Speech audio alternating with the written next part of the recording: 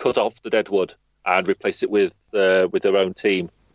So it's more a case of um, steady progress, uh, improving the team and replacing uh, players which are surplus to requirements, as opposed to wholesale cutting out uh, what's not needed and replacing it. And let's hope brand the coaching staff have the same idea of who's surplus to requirements as the uh, as the men paying the wages, because that yeah. would be a, a, bonus for a way forward. I I think um, that's a you know really good.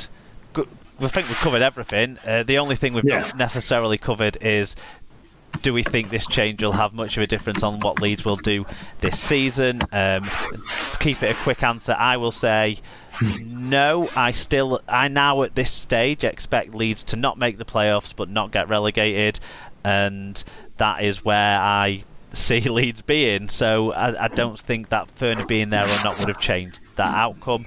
But it might change where Leeds are in 2020. Uh, Jon, what do you think? Uh, I think it will make a difference. Uh, I think it will um, stop us getting relegated and make us further up the table, closer to the uh, playoff positions. So you thought but, there was a, so um, you were worried about relegation then? I was worried about it, yes. But now not as much. Well, I think that uh, the, hopefully with a new coach we will be able to turn things around yeah. better. Whatever was wrong with Furner, I said earlier, I don't think he should have been got rid of. I think he should have been given chance to him to get the team sorted. But for now that's happened, um, I think it can only improve our position. Josh, what about? not by huge amounts.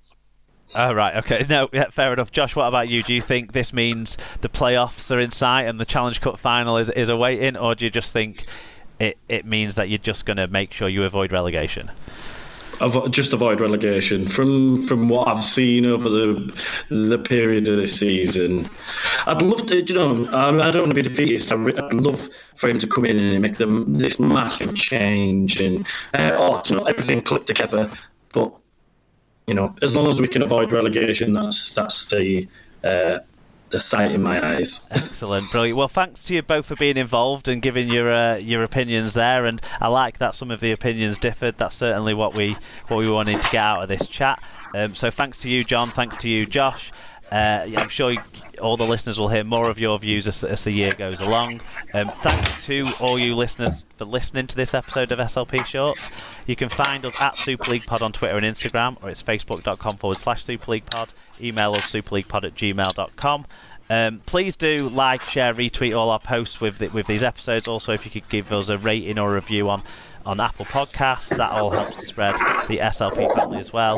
But uh, one final time, thanks to Josh and Jon, and thank you all for listening. And until you hear from us again, keep enjoying and supporting the greatest game of all, Rugby League.